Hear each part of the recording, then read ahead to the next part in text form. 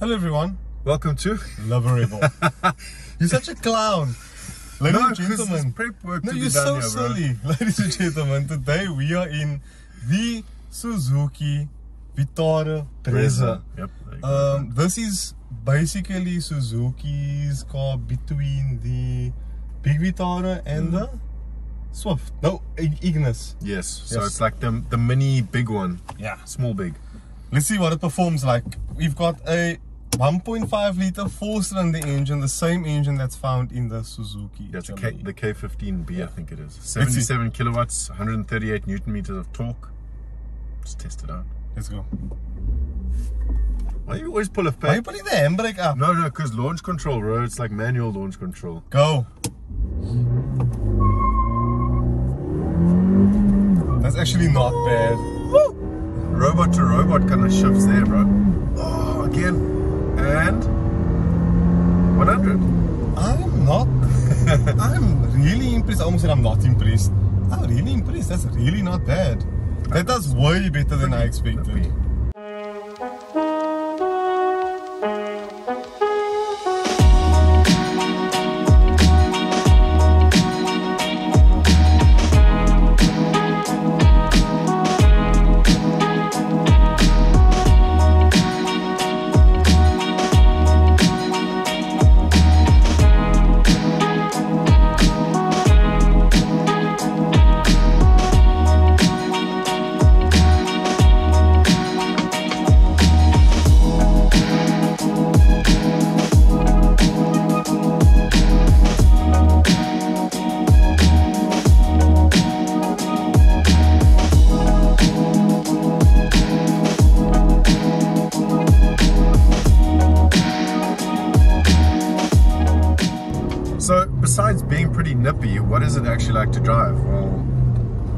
Very smooth, I'd say. I fully Like- agree.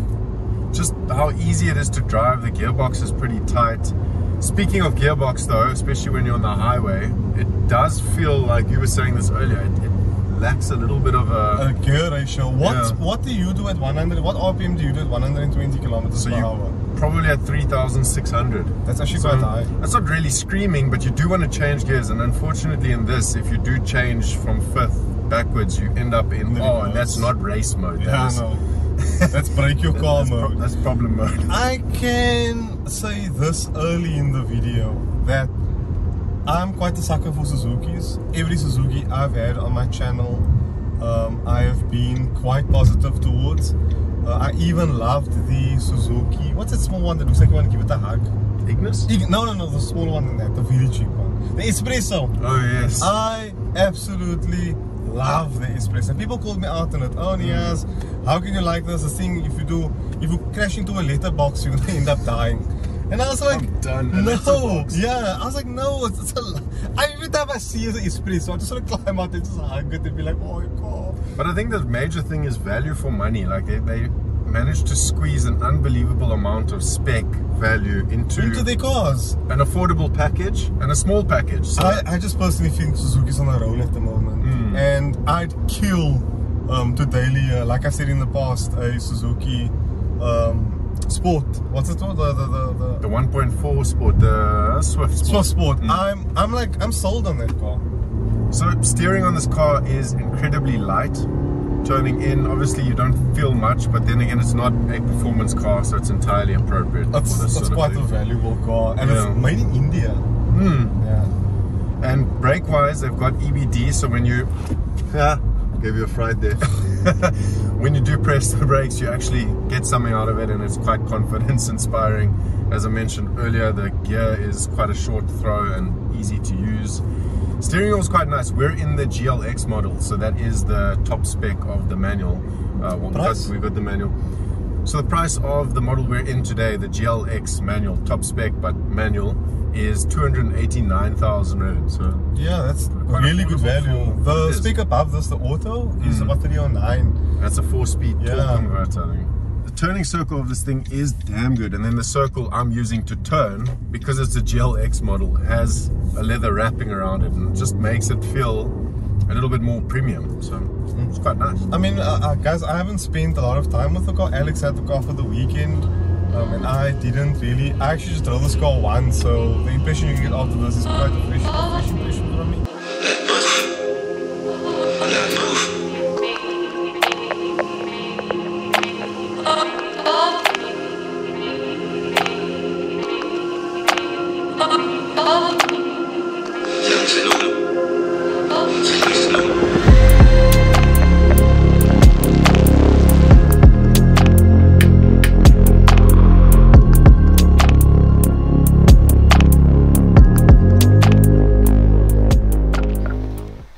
bad.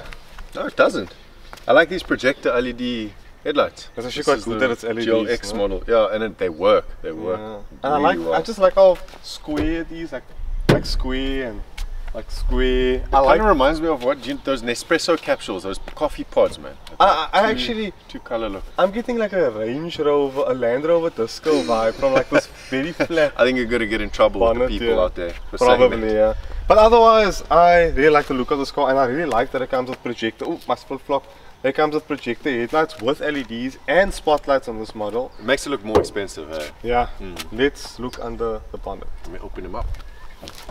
So again, uh, Suzuki's 1.5 liter engine, it produces 70. Seven. And how much torques? 138 torques. Now the engine is deep in here. I don't, I don't think I'm able to find it. And that's gonna be That's it. reliable AF. Not much to say. Otherwise, styling wise, with the GL and GLX models, you can choose between either hubcaps on the GL and actual 16 inch rims on the GLX. Yeah. And then obviously the two tone options for GLX.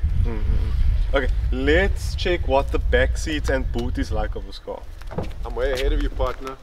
So 320 liters of boot space. It's not as big as the competitors has, but But it's I mean, decent. uh, that we do. I think we have it. a full size spare wheel underneath. yes, you do. You do. At least you know one fact about the car. Yeah, and also uh, if you close this boot, the styling from the back also really isn't that bad at all. The the Brezza I think just generally is a pretty good looking car. Also with this two tone paint which Suzuki is also now offering. Let's see what the back seat is like in the Brezza. Okay, so the back of the car, first thing we notice is headroom. Yeah, especially for a melon the size of yours. I think it's, it's really It would size. have less headroom for you, but you got no hair. Yeah, no, Uh, but it's fine. At least my hairline isn't receding 10 centimeters a day. My line's falling, it's falling off, but anyway. Oh, wait, there's a. What's that noise? You locked the car. But we're in the car. Yeah.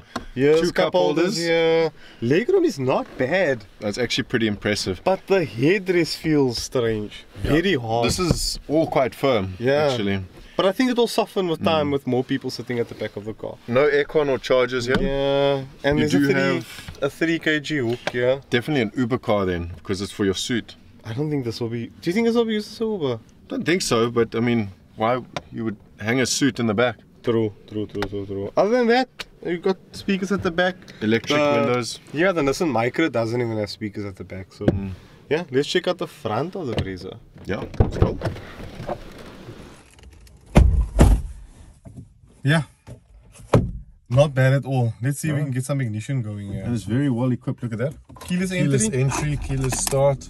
keys over here in the center of the car. That's actually quite cool. And you've got um, two cup holders in the center, a space for change. Oh, turn that off. Interesting. Is that your music? I know that's playing on listen to the slow jams. 90.4. You've got a center console here for the other car that I'm driving this week's keys in here. And obviously your air conditioning controls are standard. Auto climate control as well, standard. Yeah, and, And in this infotainment unit, we've seen this before. Why is it? It's playing Android Auto, so you've There got go. Android Auto, Apple, Apple CarPlay. Um, the radio is actually quite interesting. It uses a different system, the same system that you find in the Starlet. Starlet. saw this. This is probably just the aftermarket unit that they're wiring up in their cars. But I like it. The icons like are big, colorful. The only time it gets a bit irritating is at night time. The standard brightness is way yeah, too bright. guys, check this out: bass, mid-range, and treble. So you can put a V curve into it and make it sound more appealing to our ears. That's quite cool. I like that they gave you a proper gra- uh, uh, uh, uh, mid-range setting. Um, and then you can also go, obviously, just click the button for your Apple CarPlay. The climate control controls, climate control control control controls, Buttons. buttons, super easy to use. It's got it's got it's got automatic climate control. Yeah. And analog buttons. You don't faff with touchscreen stuff. Yeah, it's literally like click and Mm. Yeah. choose. Other than that, very And also Really this, what plasticky. is this supposed to do this or is it supposed to open all the way? I'm okay with that. It's not an experience. It is is cool. car. It is cool. It's got aircon inside here, which is a nice touch. Cruise control as well in the GLX models and upwards. Yeah. Auto LEDs. Yeah. The only issue is as well at nighttime between about 6 and 7 p.m. as the sun is setting, they tend to confuse themselves. So they'll switch on, then they'll switch off and on and off. And I almost got into a fight the other day because someone thought I was flashing, Flashing. them from Oh, behind. interesting. Because they tend to like think it's night and it's not night. Interesting. You've got tweeters as well. Mm. The tweeters face towards the windscreen, which is quite weird. But what it does do is it kind of creates a, a staging thing going on here. That's what the sound doesn't sound so bad. Mm. And they've also crossed the tweeters over quite high. And there's not so much door rattle Um, yeah, well at loud yeah. There is, but like not not not as much Yeah, as I don't think you guys want to know. I'm an audiophile, so I get really technical with this stuff. But that's Mm. one that thing. Um, the center console adjustable so that you can rest your arm. and it works perfectly. We'll show you, like literally, yeah, you can change gears on the highway like this. Yeah. It's really nice. Dual pockets as well, nice and big, and you've also got a nice big pocket for your bottled cool drinks on the side as well for the bottled. Mm. And a little wallet holder here. Yeah, Alex and I are gonna go on a shopping spree to see if we can get some um, props and things like that. Overall, you're buying it. You're buying. no, not me.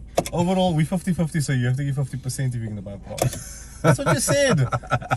anyway, so the sunglass tray also is uh, a nice touch. Most cars, I, don't, I think I've driven BMWs that don't have sunglass trays. So yeah. And then wait, one more, one more hmm? thing. Only height, no reach. Not reach. Okay. I And- mean, I would complain about this if this was a Yeah. six hundred thousand rand, Yeah. four hundred thousand, but it's at two hundred and forty-four thousand. I love also the way the cluster looks, the square clusters with a lighting pad, and make, it gives it a nice. It's still very analog, touch. but still Yeah. modern for analog looking. Very nice. Like Right, let me hop behind the wheel of the Suzuki Brezza and see what the car's like. I'm gonna be the DJ. Yeah. Just pulling the Vitara Brezza away, the clutch is super, like, not difficult to control at all. Very easy to control, battery smooth, it feels quality. Actually feels very Toyota like. As a daily, I'd certainly buy my mom one of these in automatic. Like this thing drives really quality, but this 5k is too short. Like hmm. I'm doing 18, it feels like I need to change gear. That's so weird. I love the square dials in front of me also. We've probably On the note of pulling off, sorry to Yeah. stop you there, but we swapped driving positions now while he's driving. And I noticed the door hasn't locked, unlocked. and we've gotten to 80 k's an hour. Yeah, I forgot to- Usually you have auto lock there. Yeah, this, this is, most Suzukis don't have auto lock. It's a Japanese thing apparently. So there's something I picked up now that I don't like. Um, the steering wheel is very strange on center. It kind of where you le- where you put it, it doesn't go back to like the road's gonna go straight now, and it's still turning. And if I turn it that way again, it's again sticking. So I just I, I think it's probably because this car is very new. But um, on center, the steering wheel just feels very strange to me. But once you're in a corner and you're turning it, it's perfectly fine. The throttle pedal also very instant. This Suzuki engine that they have in the Jimny is really impressive. When I say impressive, I don't mean the fastest thing on the planet. I mean it just feels like a very energetic little car.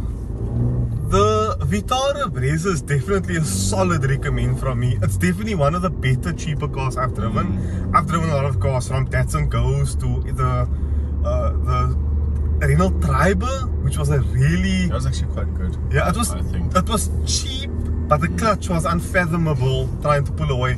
You'd stall it almost instantaneously when you try to pull the car away. Terrible clutch.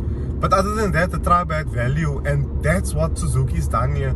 They've crammed a lot of tech in this top of the line GLX model, and I'm very impressed that Suzuki hasn't skimped on features. Even the sound system here is really impressive. So it's a solid recommend Yeah, also me. it's not Bose, but I mean like for a budget or not budget, affordable car rather. Yeah. This is the It's decent, but I'm not gonna lie, it's better than the Suzuki Swift Sport and it's better than the Suzuki Jimny, which Jimny just sounded like it had no rubbers on the surrounds Yeah. and it's just rattling in the door panels. This is actually a good, a decent sounding stereo. So that's our thoughts on the new Suzuki Vitara Brezza. Yeah, I fully agree with you. Um, I, I think you and I are really lined up when it comes to this car. Hmm. Uh, again, I haven't spent as much time you have with it. Um, space in the back, as we shown, and the interior Hmm. is decent, and the boot isn't that big. But compared it's to the competitors, it is small. But I mean, look, you can flip down the seats and then. And we saw some responses on the, the Facebook post that we made. people were quite positive about it. Mostly, there was a there was a guy that was like, "Oh, influence influencers are, are hyping this car." Like it's as It's I said in the reply, it's not about hyping, Hyping. it or just drive one. It's, It's a good product. We're just trying to give our honest feedback on the things, And it's gonna be reliable down Mm. the long run. Anyway, guys, that's our take on the Brezza. Thank you so much for watching the video. Be free, be you, Liberebil out. Hello, everyone. Welcome to. Liberebil. Oh, okay, cool. Just who- who's saying what today? the stuff doesn't need to be pretty even. What do you mean? I was just saying who's saying what. We'll insert the price of the the manual GLX now. Okay, cool. On the screen. Okay. So and what price is that? I've got to double check it. So, I can't use my phone while I'm driving. You use your phone while you're Goog- do some googling, man. uh, Didn't do your homework, did you? what?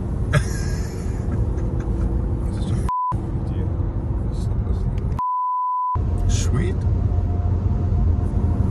Perfect. Cool. Who the f- is Cop? You? Do you know how many liters this is? I don't know. Google it. I didn't do the research on this car. You had it for four days. Yeah. So? So I know like a million other facts. So, You how much liters? one How, how fact. much liters is the boot? Then, if you know a million other facts. I didn't know that one. That's why I was asking you. No, For I'm, one not, I know. fact. I'm, I'm, I'm not reviewing the car. I'm just here as um your. What's the thing that the old man needs to walk on? Uh, crutch. A crutch. I'm basically just your crutch. It's like a broken crutch though. No, far from Crutch that it. talks too much. Hold on. Boot size. Be free, Be you. Liberable out. Both of us was Liberebil out.